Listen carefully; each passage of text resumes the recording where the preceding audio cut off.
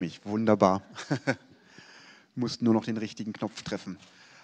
Also erstmal freue ich mich, dass Sie bei dem schönen Wetter oder trotz des schönen Wetters so zahlreich erschienen sind. Es sind sogar so viele hier, dass wir in den Seminarraum C ausweichen mussten mit ein paar Teilnehmern. An die winke ich jetzt einfach mal. Ich freue mich auch, dass Sie da sind. Ähm, bevor wir loslegen, wollte ich ein, ganz, ein paar Worte äh, an Sie richten. Zum Ersten, mein Name ist Peter Albers. Ähm, ich bin hier Professor für Geometrie und Direktor der Forschungsstelle Geometrie und Dynamik. Ähm, und wir freuen uns heute ganz besonders, Frau Professor Dr. Dr. Katrin Tent begrüßen zu können. Und ich möchte, bevor der eigentliche Vortrag losgeht, Sie ganz kurz vorstellen, ähm, denn sie hat einen sehr beeindruckenden Lebenslauf, wie ich finde. Ähm, deswegen muss ich auch ein bisschen ablesen. Das war zu viel, um mir das merken zu können. Sie hat mit dem Studium von Mathematik, Informatik und Linguistik in Kiel begonnen und da kommt dann auch der erste Doktortitel, nämlich ein Doktortitel in Linguistik in Kiel.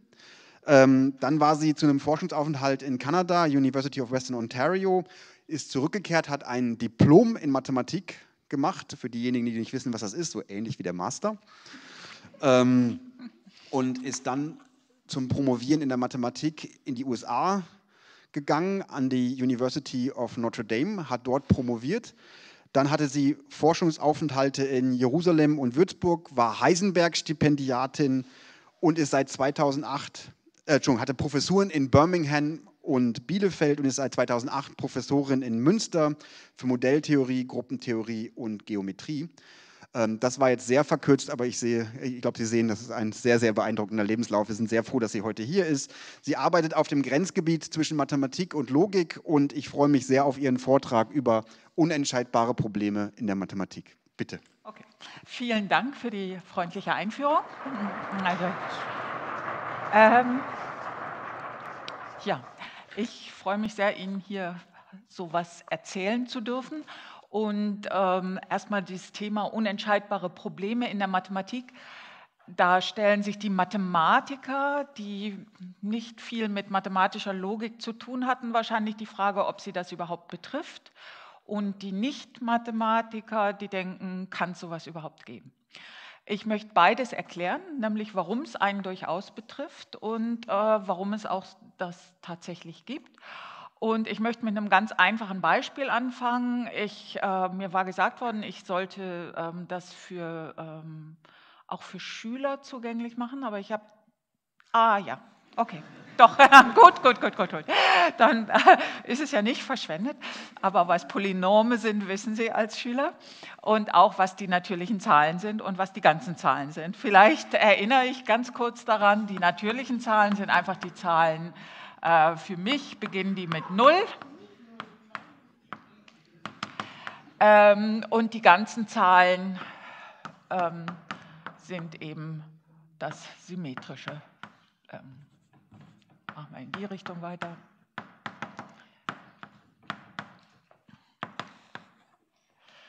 Und was Polynome sind, wissen Sie auch. Und jetzt stellen Sie sich vor, Sie kriegen für die Schüler vielleicht als Hausaufgabe übers Wochenende ein Programm zu schreiben, was bei einem Polynom mit Koeffizienten aus den ganzen Zahlen feststellt, ob das eine ganzzahlige Nullstelle hat. Also ob es eine Nullstelle hat, die äh, ne, in den ganzen Zahlen liegt. Ja, also ähm, man nimmt ein Polynom f von x, also in einer Variablen x, das schreiben wir so, aus dem Polynomring über x. Und äh, die Hausaufgabe ist, schreiben Sie mal ein Programm, was feststellt, hat f eine ganzzahlige Nullstelle.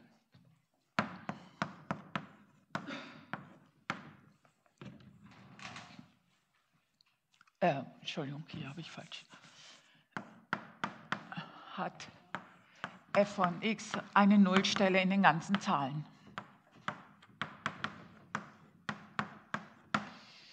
Ja, solche Polynome ähm, können zum Beispiel sowas wie 2x plus 5 könnte das Polynom sein. Das sieht jeder sofort, hat natürlich keine Nullstelle in den ganzen Zahlen. Sie können auch kompliziertere Dinge haben, ähm, nur um Beispiele für Polynome zu haben hier. Ähm, wie bitte?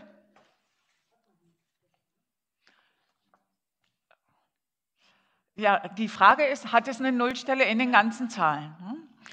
Und ähm, hier können Sie es auch noch schnell ähm, sehen und feststellen, ob das eine ganzzahlige Nullstelle hat.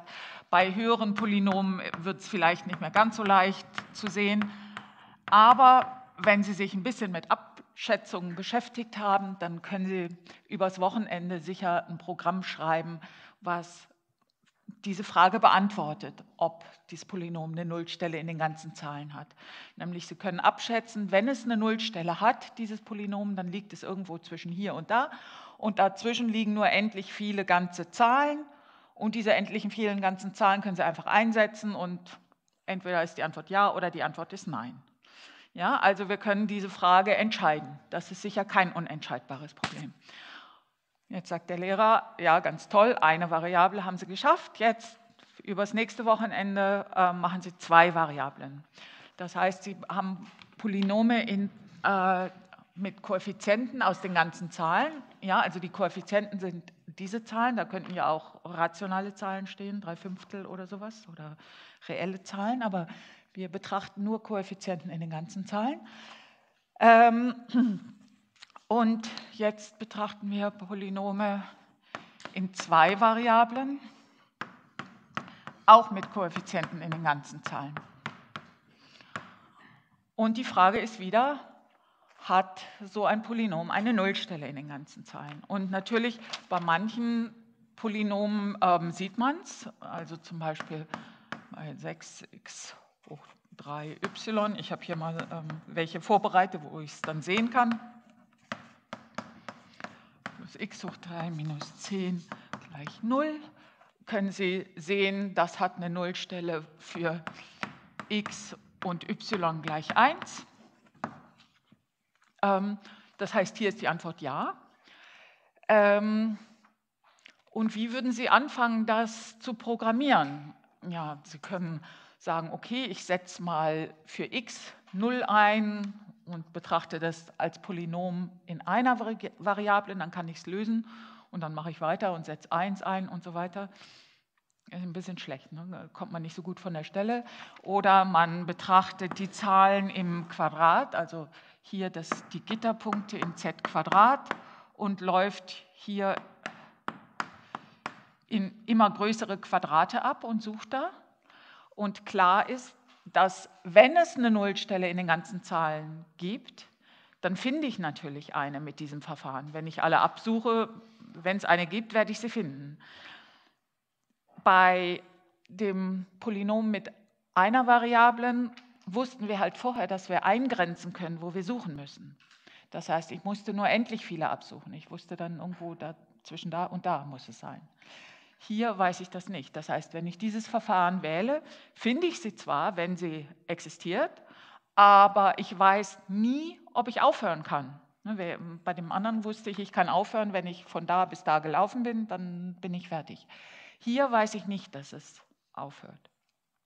Ähm, und dieses Problem, einfach, das klingt ja wie ein einfaches Problem, ne? hat dieses Polynom gibt es ein Verfahren, wie ich, wenn Sie mir ein Polynom über den ganzen Zahlen geben, kann ich dann sagen, hat eine Nullstelle oder nicht in den ganzen Zahlen. Und das ist Hilberts zehntes Problem. ähm,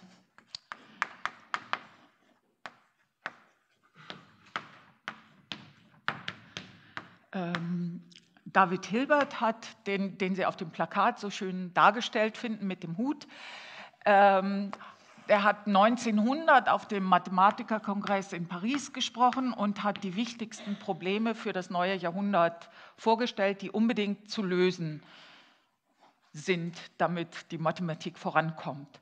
Und das zehnte Problem auf der Liste war eben das, und er hat es formuliert, finde einen Algorithmus, der diese Frage beantwortet.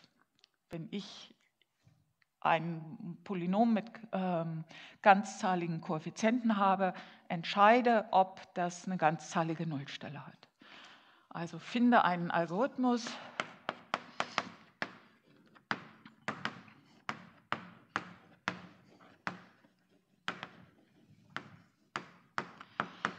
der entscheidet,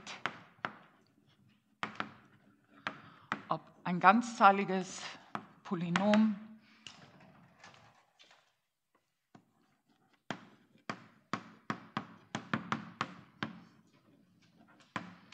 eine ganzzahlige Nullstelle hat.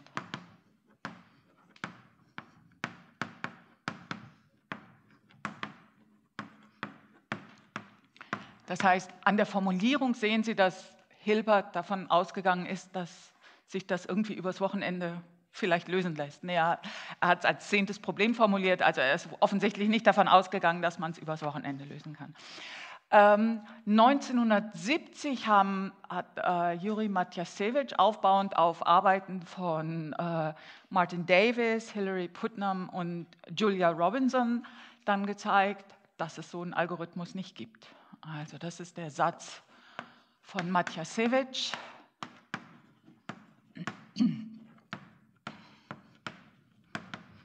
Und ähm, die, das beruht wirklich sehr stark auf den Vorarbeiten, deshalb will ich die alle nennen, Davis, Putnam und äh, Julia Robinson. Das war 1970, also durchaus eine Weile später. Ähm, die haben gezeigt, einen solchen Algorithmus gibt es nicht.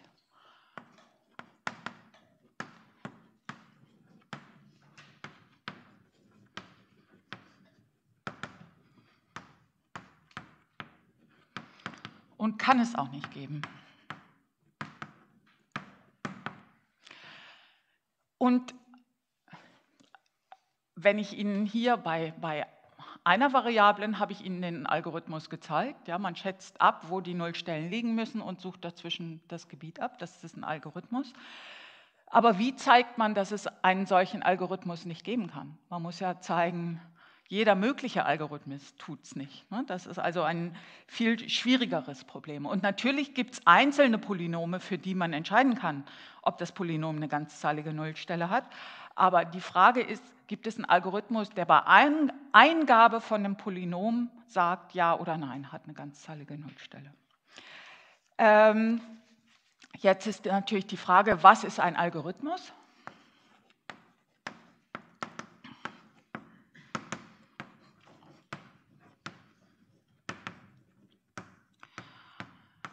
Und da benutzen wir einfach die Church'sche These.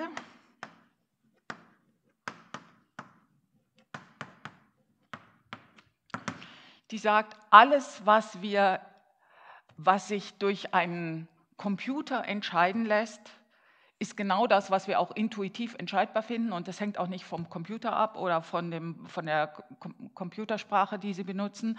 Das ist alles äquivalent. Ähm, alle Definitionen von Algorithmus oder Berechen oder Entscheidbarkeit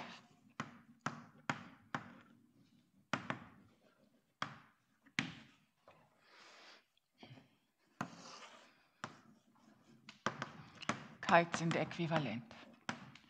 Das ist natürlich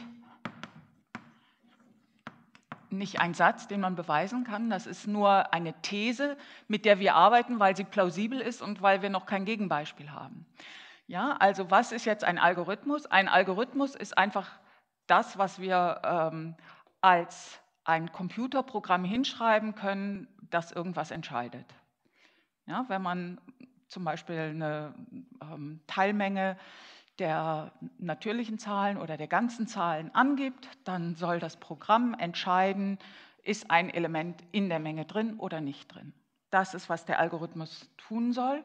Und welches Programm Sie dafür benutzen oder welche Computersprache, ähm, das ist egal.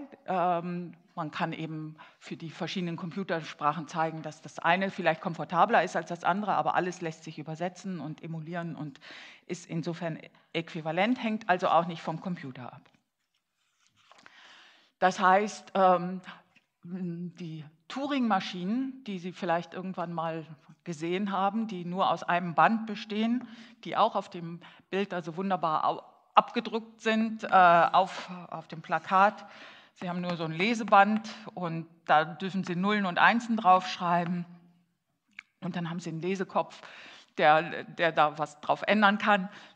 Das ist für unseren Zweck ganz genauso gut wie der neueste Supercomputer. Gut, jetzt ähm, haben wir uns ungefähr vorgestellt, was ein Algorithmus ist. Wie soll man denn jetzt zeigen können, dass es so einen Algorithmus nicht geben kann? Und um Ihnen das zu erklären, will ich, ähm, die meisten von Ihnen haben es wahrscheinlich schon mal gesehen, das an das Diagonalargument äh, von Cantor erinnern. Ähm, das, damit kann man allerhand schöne Dinge zeigen. Diagonalargument.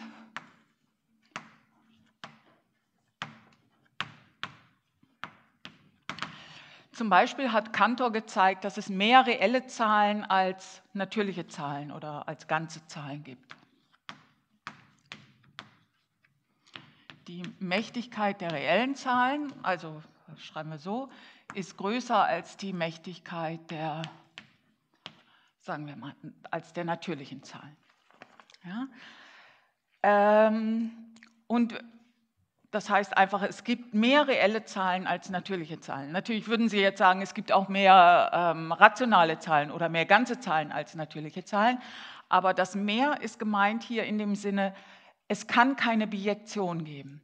Ja, bei den ähm, ganzen Zahlen sehen Sie natürlich, dass wir ähm, die ganzen Zahlen eins zu eins mit den natürlichen Zahlen oder auf die natürlichen Zahlen abbilden können. Wir können 0, dann 1 dahin, 2 dahin und so weiter. Immer zickzack. Das heißt, es sind genau gleich viele Elemente.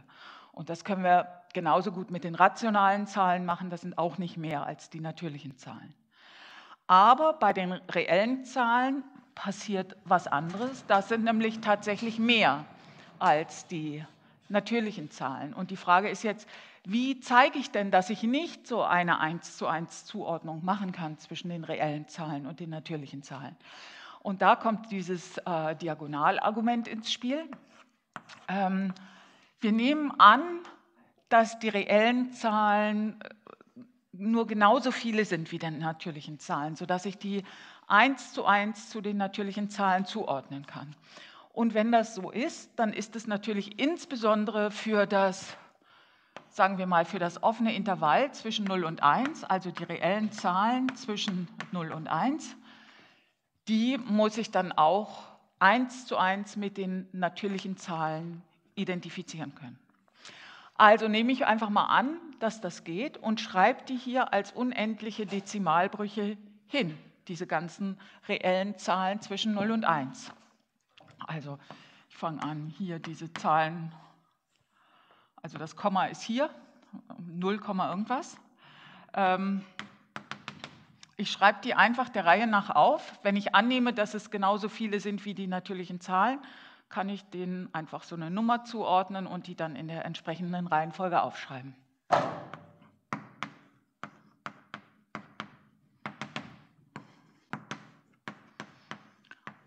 Und dann müssten alle Zahlen hier vorkommen. Ja, wenn ich davon ausgehe, dass das geht, stelle ich mir vor, ich habe hier diese Liste und jetzt, hier ist die erste Stelle, also das, oder die Stelle, das ist die Zuordnung zu den natürlichen Zahlen. Jetzt baue ich mir eine andere Zahl, die auch im Intervall zwischen 0 und 1 liegt, und zwar einfach hier ändere ich die, diese Stelle. Ähm, da steht eine 0, also schreibe ich mir eine 1 hin. Hier steht eine 5, schreibe ich mir eine 6 hin. Hier steht eine 6, schreibe ich eine 7 hin und so weiter.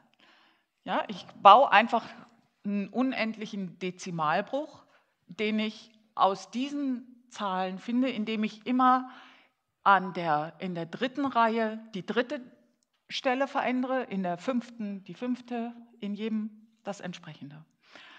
Dann kommt hier irgend so ein unendlicher Dezimalbruch raus, der auch zwischen 0 und 1 liegt. Aber der steht natürlich nicht in dieser Liste, denn ich habe ja dafür gesorgt, dass er sich von allen Zahlen in der Liste unterscheidet. Also diese Zahl kommt hier in der Liste nicht vor.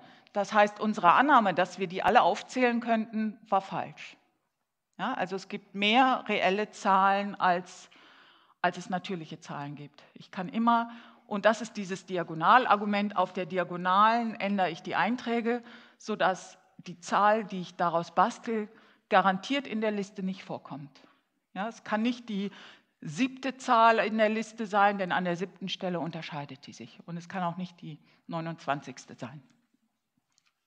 Also, das ist dieses Diagonalargument und das können wir jetzt gleich nochmal verfeinern und uns ähm, ein unentscheidbares Problem daraus äh, mit diesem Diagonalargument basteln. Ähm, wenn Sie schon mal Computer programmiert haben, dann wissen Sie, dass es immer ein Problem ist zu wissen, ob der Computer dann auch irgendwann anhält, wenn man ihm was zu tun gibt. Dann, ähm, ich sehe, manche, manche haben mehr Erfahrung als andere. Ähm, genau, das ist ein Problem. Und äh, das ist auch richtig so, denn der Satz ist, dass das Halteproblem eben nicht entscheidbar ist.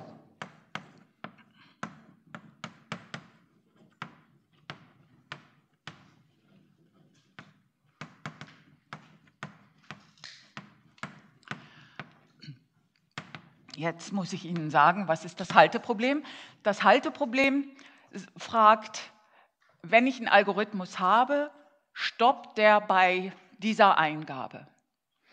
Dazu, damit das ein entscheidbares Problem ist, müssen wir uns erstmal überlegen, es gibt nur abzählbar viele Algorithmen. Das heißt, wir können die Algorithmen mit den natürlichen Zahlen identifizieren. Das, ein Algorithmus ist immer ein endliches Stück, ne? also das sind nur abzählbar viele. Das heißt, das hat überhaupt Sinn, danach zu fragen, nach so einem Entscheidbaren. Das heißt, wir können die Algorithmen aufzählen und wir können die Eingaben, wir behandeln natürlich immer nur abzählbare Mengen als Eingabemengen. Ne? Das heißt, wir können fragen, der Algorithmus mit der Nummer k, was macht der bei Eingabe m? Hält der oder hält der nicht? Und die Behauptung ist, dass wir keinen Algorithmus finden können, der sagt, der Algorithmus Nummer K stoppt bei Eingabe M oder nicht, der das entscheidet. Ja, das ist die Behauptung. Dieses Halteproblem ist unentscheidbar. Und wie zeigen wir das? Ähm, genau mit so einem Diagonalargument. Ähm, wir nehmen an, es gibt einen Algorithmus, der das entscheidet. Ähm, angenommen, ein solcher Algorithmus existiert.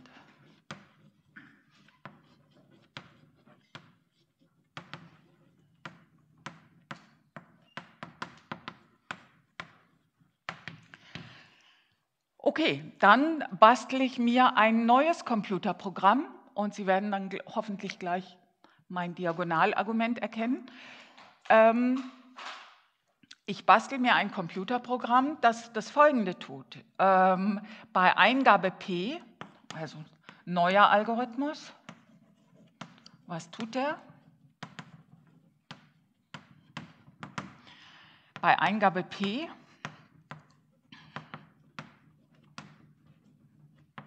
also so einer natürlichen Zahl, ähm, fragt er, ob der Algorithmus Nummer P bei Eingabe P stoppt.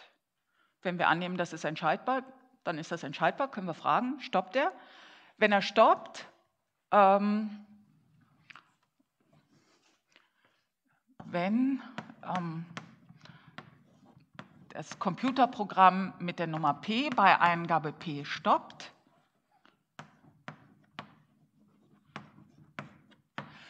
dann soll dieser Algorithmus einfach unendlich weiterlaufen, irgendeine Schleife laufen, lauter Nullen aufs Band schreiben oder irgendwas. Dann soll dieses neue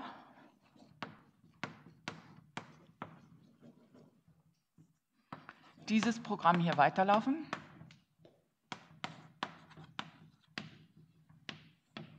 Unendlich weiterlaufen.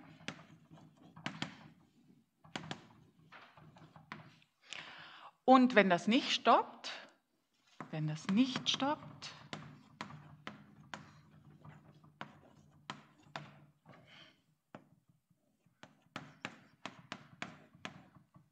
dann soll es stoppen.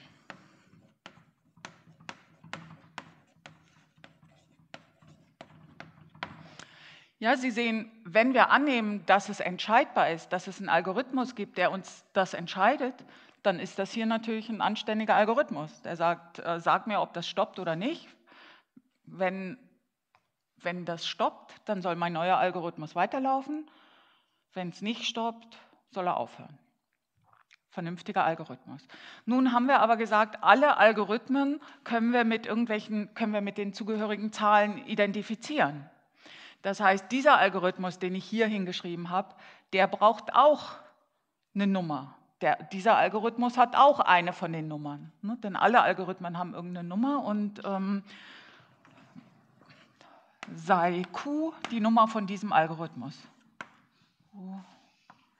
Die Nummer dieses Algorithmus. Für diesen Algorithmus.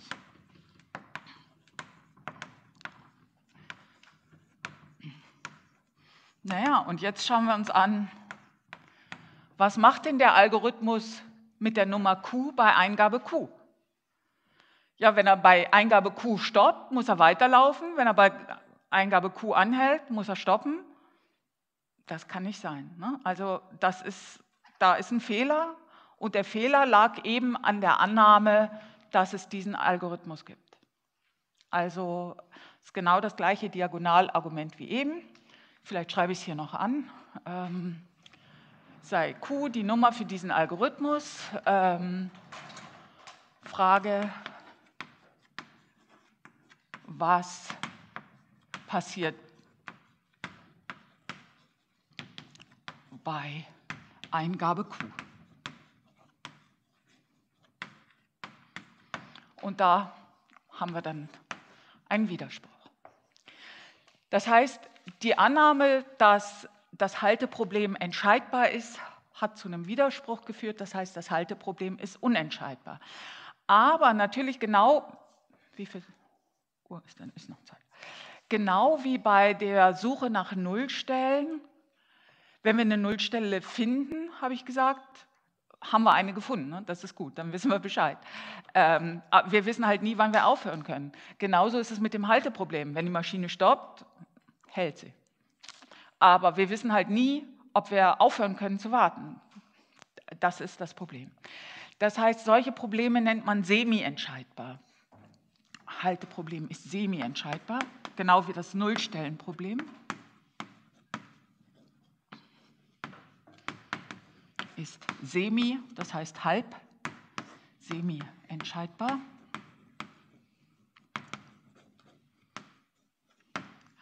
Wir kriegen eine Ja-Antwort, wenn, ja, wenn die Antwort Ja ist, aber wir kriegen keine Nein-Antwort, ähm, typischerweise. Ähm, gut, also wissen wir jetzt immerhin, dass es unentscheidbare Probleme gibt. Und nun wollen wir auch noch sehen, dass äh, dieses äh, Hilberts zehnte Problem unentscheidbar ist. Ähm, und was Matjasewicz aufbauend auf äh, den Ergebnissen von Davis, Putnam und Robinson gemacht hat, ähm, war zu zeigen, dass die semi-entscheidbaren Teilmengen der ähm, natürlichen Zahlen, also eine Teilmenge der, eine Menge a in n oder auch von Tupeln, also n hoch k, heißt semi-entscheidbar.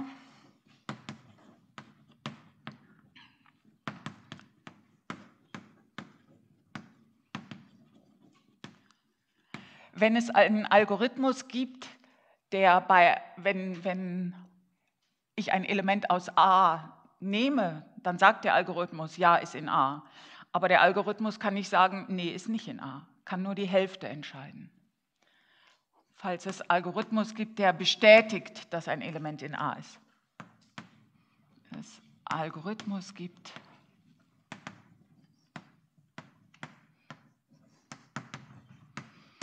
der für x in a bestätigt, aber nicht unbedingt für x nicht in a sagen kann, liegt nicht drin. Und natürlich ist eine Menge entscheidbar, wenn es einen Algorithmus gibt, der sagt, ja ist drin oder nein ist nicht drin. Mhm. Das heißt, wir sehen, ähm, das ist einfach nur eine Bemerkung, eine Menge ist genau dann entscheidbar,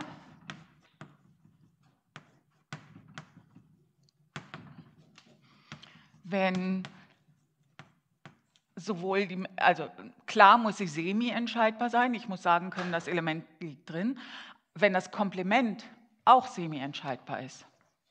Wenn A und das Komplement, also NK ohne A, beide semi-entscheidbar sind.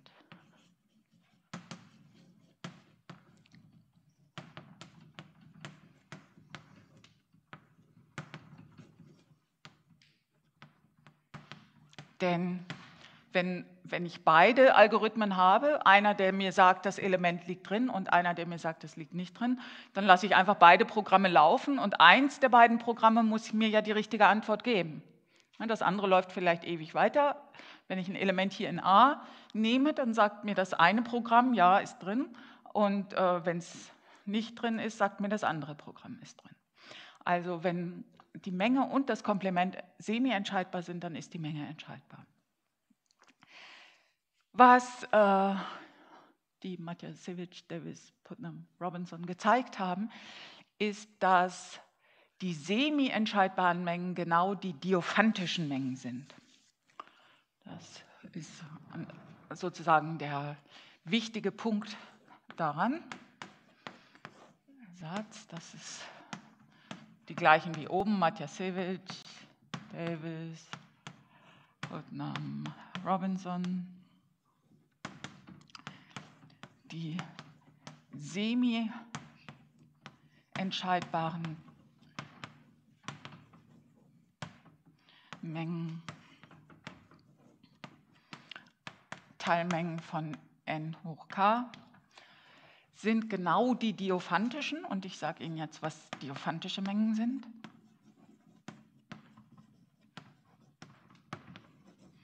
Die diophantischen Mengen, nämlich die, die durch ganzzahlige Polynomgleichungen beschrieben werden.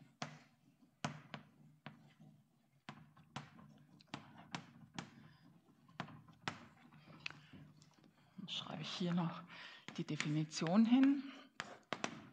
Ähm, eine Teilmenge heißt diophantisch, wenn es ein Polynom gibt,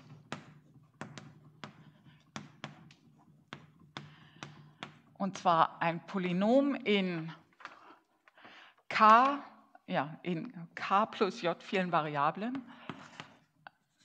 mit Koeffizienten aus den ganzen Zahlen, x, jetzt muss ich sehen, x1 bis xj und y1 bis yk. Also dieses Polynom hat viele Variablen und zwar von zwei Typen, x und y.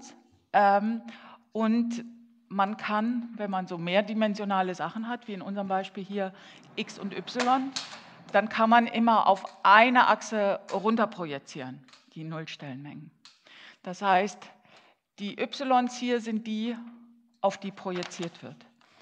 Das heißt, das heißt, diese Menge heißt diophantisch, wenn es so eine Funktion f gibt, so ein Polynom f, gibt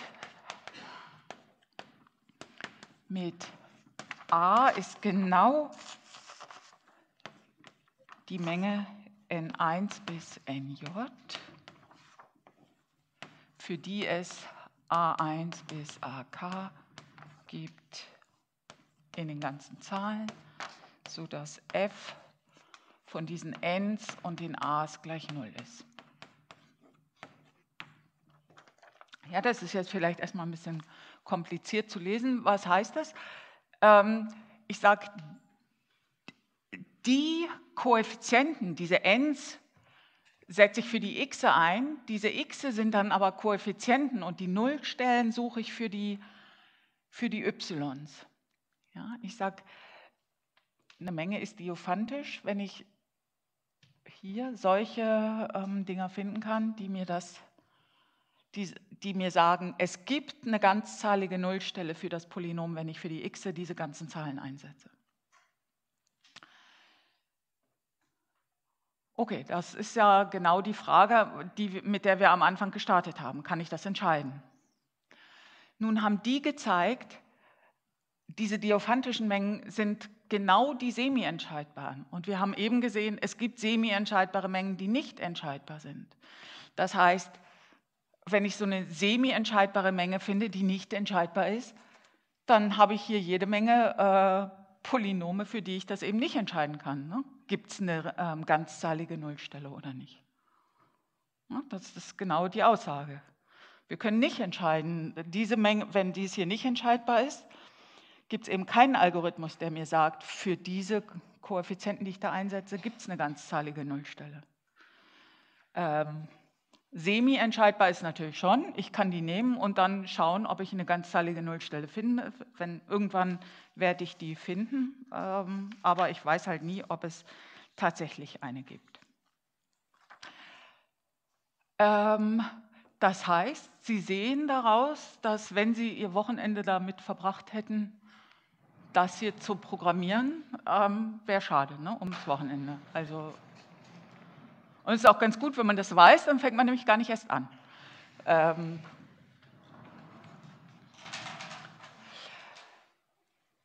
das hat aber für Mathematiker auch sehr schöne Auswirkungen, weil das zum Beispiel heißt, dass ähm, die Arithmetik nicht entscheidbar ist, die Theorie der natürlichen Zahlen. Ich wische mal eben.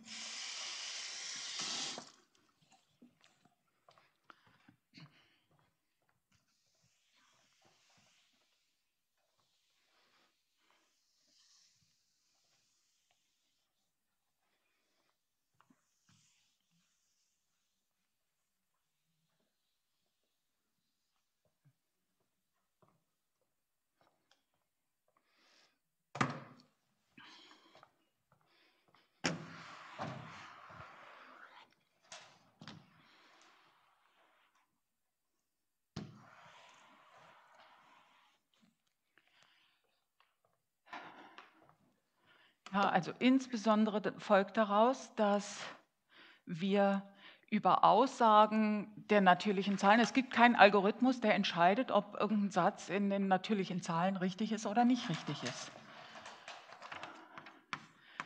Die Arithmetik ist unentscheidbar. Das heißt, die Theorie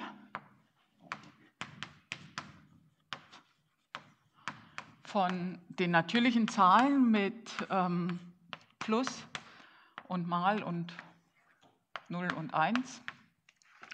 Alles, was man da an Aussagen hinschreiben kann, wäre ja schön, wenn es ein Computerprogramm gibt, das einfach sagt, ich schreibe diesen Satz hin, zum Beispiel Fermat.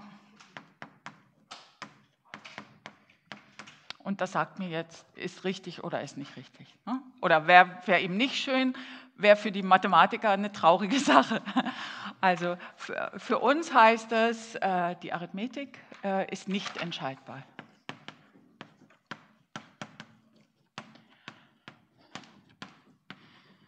Und insbesondere möchte ich ähm, auch noch zeigen, warum Gödels erster Unvollständigkeitssatz, was der damit zu tun hat. Ich weiß nicht, ob Sie davon gehört haben, aber ich erwähne das kurz noch. Gödels Unvollständigkeitssatz.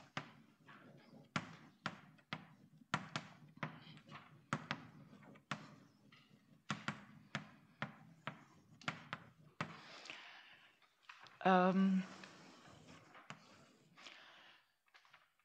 für die Arithmetik, das heißt für diese Struktur, die natürlichen Zahlen mit Plus, Mal, 0 und 1, können wir natürlich Sachen hinschreiben, die gelten und wir können uns auch überlegen, was sollen die Axiome sein, mit denen wir da drin rechnen. Ja? Also wenn wir nach anderen Modellen suchen.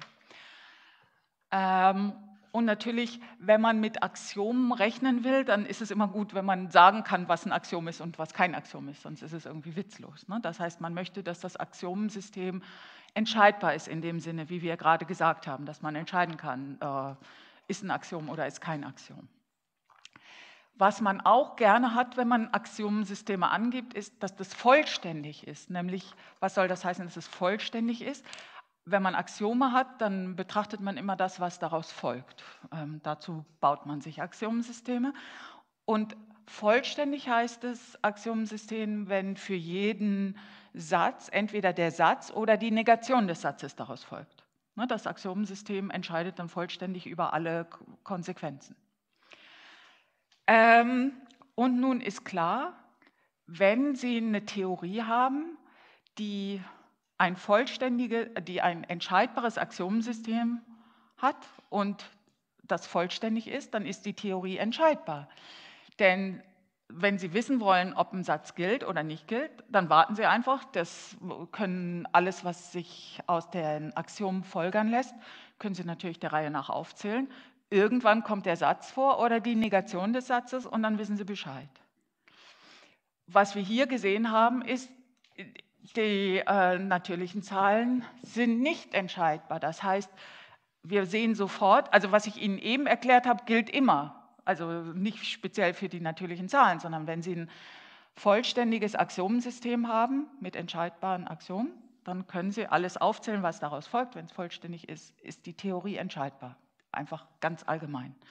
Diese Theorie ist nicht entscheidbar. Also sehen wir daraus, dass egal wie man sich anstrengt, man kann kein Axiomensystem für die natürlichen Zahlen finden, was beides ist entscheidbar, also so, dass ich sagen kann, was die Axiome sind, und vollständig, so dass alles daraus folgt oder die Negation. Das heißt, das ist ein, also das war ein Schock, als der Satz äh, ähm, von Gödel bewiesen wurde. Ne? Diese Unvollständigkeitssätze, das hat wirklich die Mathematik erschüttert, weil ähm, man gedacht hat, ich meine, auch an den Formulierungen von Hilberts äh, Problemen hat man gesehen, dass sie, die haben damals gedacht, okay, jetzt wissen wir, was die Axiome, wie, wie man mit Axiomen arbeitet, wie man das machen muss. Jetzt stellen wir das alles auf ganz solide Füße. Wir müssen nur die Axiome richtig wählen zum Beispiel war Cantor auch erschüttert, weil er die Definition einer Menge schon, ja, wir denken alle Mengen, klar weiß jeder, was eine Menge ist, aber es war eine ganz große Errungenschaft, als äh, man die Definition einer Menge sozusagen auf die richtigen Füße gestellt hat. Ähm, und dann hat man gedacht, okay, jetzt sind wir dabei und dann machen wir das auch. Und als Gödels Satz dann kam, der hat gesagt, das geht nicht, ne? man kann nicht beides haben. Das war wirklich ein großer Schock für die mathematische Community. Und ja, mit dem Schock hier ende ich.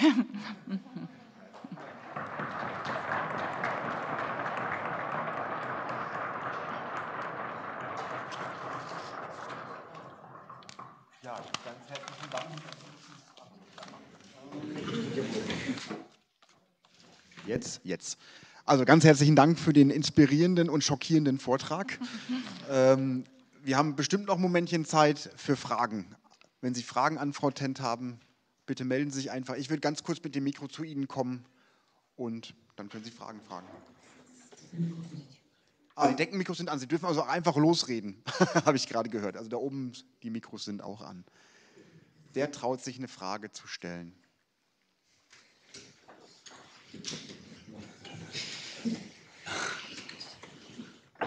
Klasse.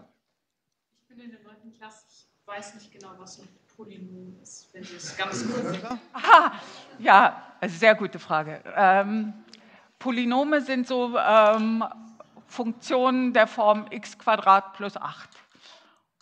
Und dann kann man die eben auch x hoch 5 plus 3x, das sind Polynome. Und dann kann man auch verschiedene Variablen nehmen, x und y oder x1 bis x7. Das sind Polynome. Und in der Schule beschäftigen sie sich damit, Nullstellen zu finden, aber eben nicht damit, ob äh, es eine ganzzahlige Nullstelle ist. Ne? Aber das freut mich ja, dass in den Schulen die das angekommen ist.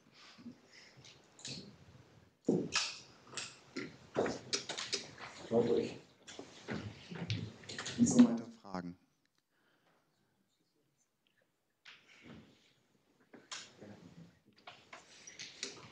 Frage mal zwischenzeitlich was. Kannst du mal zeitlich einordnen, wann das mit Gödel war? Weil du gesagt hast, Hilberts Problem war im 19. Jahrhundert. Ähm, Ungefähr. in den 40er Jahren. Mhm. 19, in den 1940er Jahren.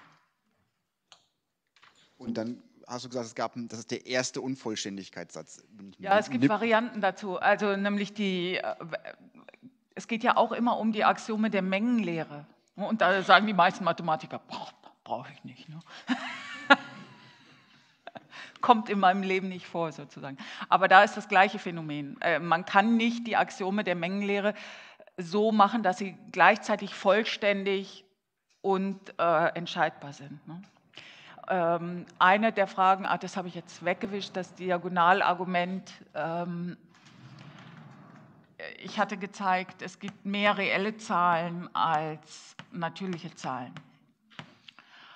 Und eine der berühmten Fragen, die aus unseren normalen Axiomen, mit denen wir arbeiten, nicht folgt, ist, ob es eine Menge gibt, ähm, die mehr Elemente als die natürlichen Zahlen hat, aber weniger als die reellen Zahlen.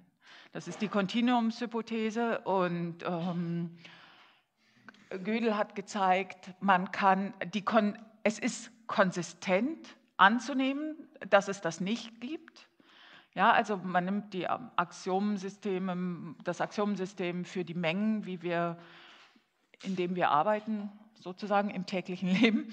Ähm, und wenn ich dieses System habe und wenn das ähm, konsistent ist, was man eben auch nicht beweisen kann ne, in sich selbst, dann ist es auch konsistent anzunehmen, dass dazwischen keine Mächtigkeit liegt. Und äh, Kohn hat dann gezeigt, ähm, es ist auch konsistent, das Gegenteil anzunehmen und anzunehmen, dass es doch was dazwischen gibt. Das heißt, das ist einfach unabhängig von den anderen Axiomen, die man hat. Ja, bitte.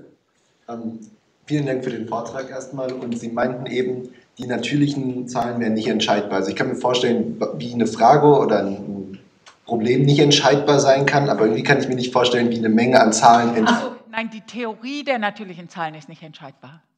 Also die, die, es ist nicht entscheidbar, welche Sätze, die Menge der Sätze, die man ausdrücken kann, ist keine entscheidbare Menge. ne? Also zum Beispiel, es gibt keinen Algorithmus, der allgemein entscheidet, denn sonst hätte man dem auch dieses hier vorlegen können. Und Vielen Dank. Ähm, wie konnte Goethe sein Unvollständigkeitstheorem oder Satz äh, überhaupt formulieren? Weil er musste ja auch dafür ein eigenes Axiomensystem annehmen, oder? Indem er quasi diesen Satz formuliert. Wie kann er dann eine Aussage über quasi alle Axiomensysteme treffen? Ähm, ja, gute Frage. Also, es muss alles, also über abzählbare, ähm, es geht darum, diese äh, Axiomensysteme so zu formalisieren, da- dass man, das ist eben die Kunst darin, dass man dieses Argu Diagonalargument einfach durchführen kann. Was er gezeigt hat, ist, wenn das Axiomensystem vollständig genug ist, um ähm, zum Beispiel die natürlichen Zahlen, äh, Plus und Mal, ähm, zu formulieren, dann kann man immer auch das Diagonalargument ähm, da drin formalisieren.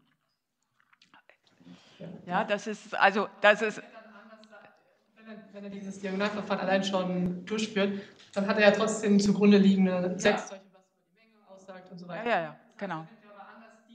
Quasi schon- Genau, da, da muss man sich, da, man hängt irgendwo in der Luft. Genau.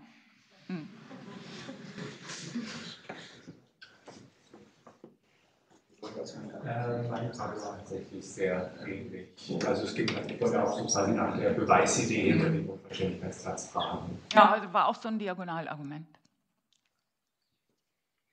Ähm, Sie haben ja gesagt, dass man nach Goethes Unvollständigkeitssätzen kann man nur eins von beiden haben, also entweder Vollständigkeit oder Entscheidbarkeit. Ähm, Wenn man sich jetzt ein System aufbaut aus Axiomen, weiß man dann, was von beiden es ist? Oder weiß man das? Also es gibt andere Theorien, die axiomatisierbar sind und vollständig. Ne? Wenn man zum Beispiel die Theorie der ähm, komplexen Zahlen hinschreibt, dann schreibt man hin, das ist ein Körper in der Charakteristik 0 für diejenigen, die das wissen. Äh, ähm, Charakteristik 0 kann man auch hinschreiben und man sagt, ist algebraisch abgeschlossen. Das heißt, man schreibt all die Axiome hin, jedes Polynom von Grad n hat eine Nullstelle, schreibt man für alle n hin. Und das ist ein vollständiges und entscheidbares Axiomensystem. Ja, also es gibt entscheidbar, also es gibt entscheidbare Theorien, aber die natürlichen Zahlen, die Arithmetik gehört nicht dazu.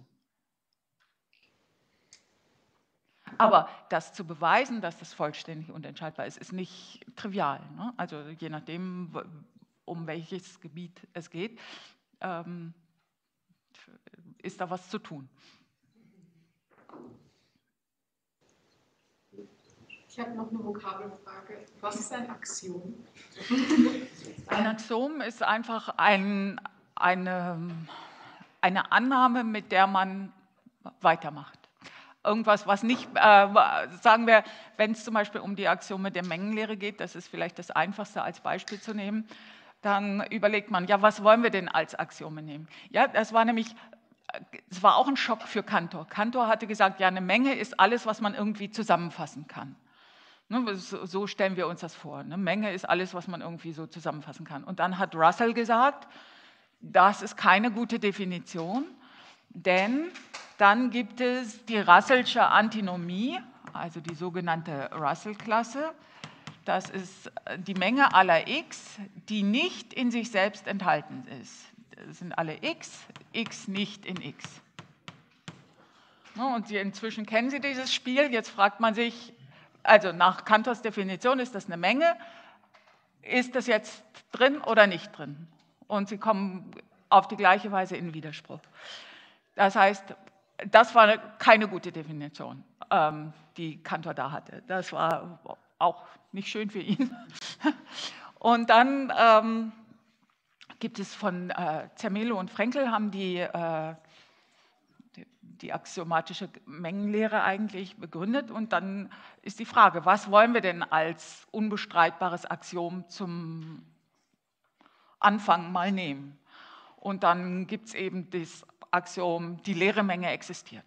Das ist doch schon mal ein gutes Axiom. Da können wir uns vielleicht darauf einigen. Ne? Also die leere Menge existiert, leere Menge existiert.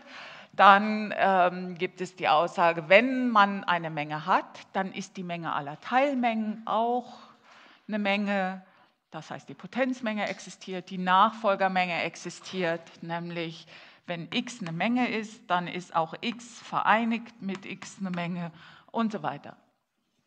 Und äh, solche Axiome schreibt man hin und dann überlegt man, will ich noch mehr Axiome haben? Zum Beispiel, will ich annehmen, dass es äh, noch eine Menge, also eine Größe dazwischen gibt oder will ich lieber annehmen, dass es nicht gilt? Und dann muss man natürlich schauen, was passiert, wenn ich das annehme. Äh, Sie hatten jetzt vorhin gesagt, dass man tatsächlich trotzdem Axiomsysteme findet, die vollständig sind und entscheidbar. Aber dann habe ich, glaube ich, Goethes Satz nicht richtig verstanden, weil war nicht die Aussage gerade, dass ich das nicht finde? Nicht für die natürlichen Zahlen, weil wir ja da die, äh, der, der Gödelsche Un was ich gesagt habe, ist folgendes. Wenn wir ein vollständiges und entscheidbares Axiomensystem haben für irgendeine Theorie, dann ist die Theorie entscheidbar. Ne, habe ich, die Theorie der natürlichen Zahlen ist nicht entscheidbar. Also hat die Theorie der natürlichen Zahlen kein vollständiges äh, und entscheidbares Axiomensystem. Ja, die Theorie der komplexen Zahlen ist entscheidbar.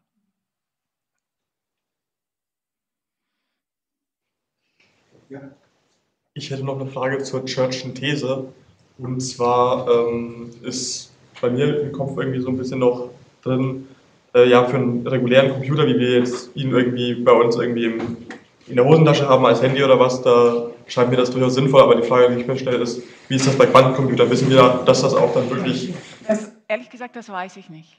Ähm also das, da geht es ja dann in Bereiche, wo es dann so abstrakt Genau, na, nee, nicht nur, es äh, geht nicht um die Abstraktion, sondern um, den, um das Zufallsprinzip, was da rein äh, geht. weiß ich nicht, wie sich das mit Quantencomputern verhält. Also ähm, ist, äh, weiß ich einfach nicht. Okay, vielen Dank. Das ist nicht mein, die, diese Art von Mathematik ist nicht mein Arbeitsgebiet. Ich nehme an, dass die Rekursionstheoretiker hier vielleicht äh, wissen, wie die Quantencomputer zur, zu dem, zur Church'schen These stehen. Aber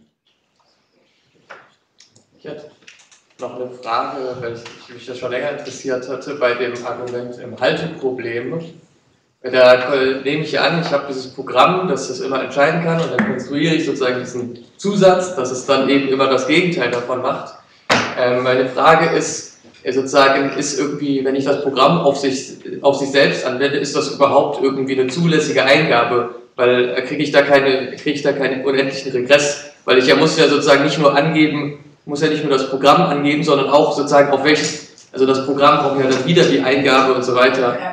Annahme ist ja gerade, dass wir alle Programme durchnummeriert haben. Der, der Computer kriegt die Nummer, dann kann er das Programm daraus ausrechnen.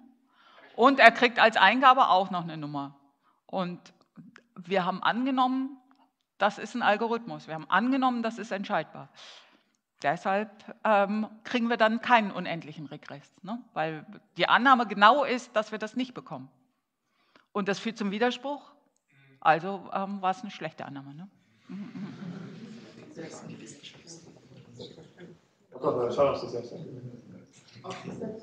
Also denselben Algorithmus auf sich selbst? man wendet ja nicht denselben Algorithmus auf sich selbst an, sondern man wendet den Algorithmus mit der Nummer P auf die Eingabe P an. Und das kann ich natürlich machen. Ne? Also, ich meine. Aber, aber, aber da muss ich doch noch dazu sagen, äh, welche Eingabe das, das P dann läuft, oder? Naja, ist auch nicht so wichtig. P, die, wenn ich dem äh, in diesem Dings sage, ich weiß nicht, wo es steht, äh, der Computer sagt, ähm, nimm Programm Nummer P und wende es auf die Zahl P an. Und das soll er mal machen. Mhm.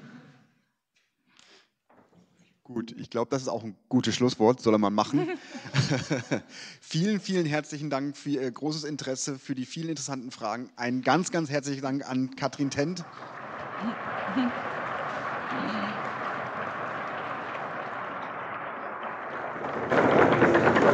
Ich wünsche Ihnen allen noch einen sehr schönen Abend und vielen Dank fürs Vorbeikommen. Tschüss.